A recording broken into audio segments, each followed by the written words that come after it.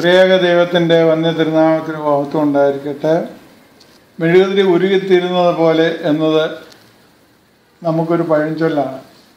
അത് പല പാഠങ്ങളും നമുക്ക് പറഞ്ഞു തരുന്നു. ആരാധനയുടെ ഭാഗവുമാണ്. മെഴുകുതി ഉരുകിത്തീരുന്നത് പോലെ ലോകത്തിന് സൗരഭ്യവും വെളിച്ചവും പകർന്ന് നമ്മുടെ ജീവിതം ആയിത്തീരുക എന്നതാണ് അതിലെ പാഠം പ്രധാനമായി. ത്രിണോസിൽ മെഴുകുതിരി കത്തിക്കുന്നതിന്റെ ഉദ്ദേശവും നേർച്ചയായി മെഴുകുതിരി കത്തിക്കുന്നതിന്റെ അർത്ഥവും അതാണ്. പലപ്പോഴും അർത്ഥവ്യാഖ്യാനം മനസ്സിലാക്കാതെയാണ് വിശ്വാസികൾ ഈ നേർച്ച നേരുന്നതും കത്തിക്കുന്നതും. അതായത് ഞാനും നിങ്ങളും ഇത് കത്തിക്കുമ്പോൾ ലോകത്തിൽ നിന്ന് അന്ധകാരത്തെ നീക്കി പ്രകാശം പരുത്തും എന്നർത്ഥം. താമത്താശ്ലിഹാട് സുവിശേഷത്തിൽ പറയുന്നുണ്ടല്ലോ നിങ്ങൾ ലോകത്തിന്റെ വെളിച്ചമാകുന്നുവെന്ന് നമ്മുടെ വാക്കിലും പ്രവൃത്തിയിലും കൂടെ മറ്റുള്ളവരെ ഒരുക്കി തീർക്കുക എന്നതല്ല അതിന്റെ അർത്ഥമെന്ന് പ്രത്യേകം ഓർത്തിരിക്കണം. അതിന് സ്വാർത്ഥത എന്നേ പേരുള്ളൂ. അച്ഛനായിരിക്കുന്ന സമയത്ത് പഴയ പരമലപ്പള്ളിയുള്ള കാലത്ത് അല്പം ധ്യാനത്തിനു വേണ്ടി അവിടെ പോയി. പരമൽ തിരുമേനിയുടെ കബറിന്റെ മുമ്പിൽ അന്ന് കാലത്ത് വലിയ മെഴുകുതിരി സ്റ്റാൻഡുകൾ ഉണ്ടായിരുന്നു.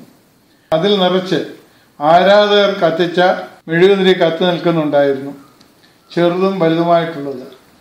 ഒരു ആരാധകൻ അല്പം ജടുതിയിൽ ഒരു തിരി പെട്ടെന്ന് കത്തിച്ചു വെച്ചിട്ട് പോയി. അത് ചുവടുറപ്പിക്കാത്തതിനാൽ ഉടനെ മറിഞ്ഞു വീണു. മറ്റൊന്നിന്റെ കടക്കിലേക്ക്. നിമിഷങ്ങൾക്കകം സകലതും മറിഞ്ഞു വീണു. അതിനു മുമ്പ് മറിഞ്ഞ് വീണതിന്റെ നൂലുകളും കത്താൻ സഹായിച്ചു. ഒരു വലിയ അഗ്നിഗോളമായി തീർന്നു. അടുത്തതിലേക്ക് പ്രവേശിക്കുന്നതിന് മുമ്പ് വാച്ചർ എന്തോ ഒരു വലിയ സാധനം അതിന്റെ പുറത്ത് കൊണ്ടുവന്നിട്ടു.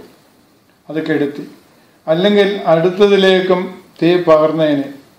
നാം അറിയേണ്ട ഒന്നാമത്തെ കാര്യം നമ്മുടെ വാക്കും പ്രവൃത്തിയും അശ്രദ്ധമാകുന്നത് യാക്കോസ്ലിഹ പറയുന്നത് പ്രകാരം നാവ് ചെറിയ അവയവമെങ്കിലും വളരെ വമ്പ് പറയുന്നു. കുറഞ്ഞ തീ എത്ര വലിയ കാട് കത്തിക്കുന്നു? നാവും ഒരു തീ തന്നെ. അത് നമ്മുടെ അംഗങ്ങളുടെ കൂട്ടത്തിൽ അനീതി ലോകമായി ദേഹത്തെ മുഴുവൻ മനിലമാക്കി ജീവചക്രത്തിന് തീ കൊടുക്കുകയും നരകത്താൽ അതിനെ തീ പിടിപ്പിക്കുകയും ചെയ്യുന്നു. മൂന്നാം അധ്യായം അഞ്ചും ആറും വാക്യങ്ങൾ. രണ്ട് നാം യാത്ര ചെയ്യുന്ന വിമാനങ്ങളിൽ ഓട്ടോ പൈലറ്റുകൾ ഉണ്ട് എന്നാണ് പറയുന്നത്. പൗരത്തിന് എന്തെങ്കിലും ബുദ്ധിമുട്ട് വന്നാൽ ഓട്ടോ പൈലറ്റ് അതിന്റെ ചുമതല ഏറ്റെടുക്കുമത്രേ. നമ്മുടെ ജീവിതത്തിൽ ഓട്ടോ പൈലറ്റ് ദൈവമാണ്. നമ്മുടേതല്ലാത്ത കാരണത്താൽ ഉണ്ടാകുന്ന അഗ്നിയും പ്രതിസന്ധികളും ദൈവമാകുന്ന സർവശക്തൻ അതിനെ നിയന്ത്രിച്ചിരിക്കും മൂന്ന് ഒന്നാം ഹോവായുടെ അനുസരണക്കേടിന് പകരമായി ദൈവിക വചനം ഉദരത്തിൽ സ്വീകരിച്ച് ലോകത്തിന് നൽകിയ ആളാണ് പരിശുദ്ധ കന്യമറിയ. ജീവിതം ഒരർത്ഥത്തിൽ ഉരുകിത്തേരിലായിരുന്നു. ദൈവിക വചനം ഗബ്രിയേൽ ദൂതനിലൂടെ ലഭിച്ചു കഴിഞ്ഞ് ഇതാ ഞാൻ കർത്താവിന്റെ ദാസി നിന്റെ വാക്കുപോലെ ഭവിക്കട്ടെ എന്ന് പറഞ്ഞ് സമർപ്പിക്കുകയായിരുന്നു. ആ അമ്മ ചെയ്തത്. ആ അമ്മയുടെ മാതൃകയും ജീവിതവും നമുക്ക് ദിശാബോധം പവർ നൽകട്ടെ. പ്രാർത്ഥിക്കാം. ദൈവമായ കർത്താവെ നിന്റെ പ്രകാശത്താൽ ഞങ്ങൾ പ്രകാശിക്കുമാറാകണമേ.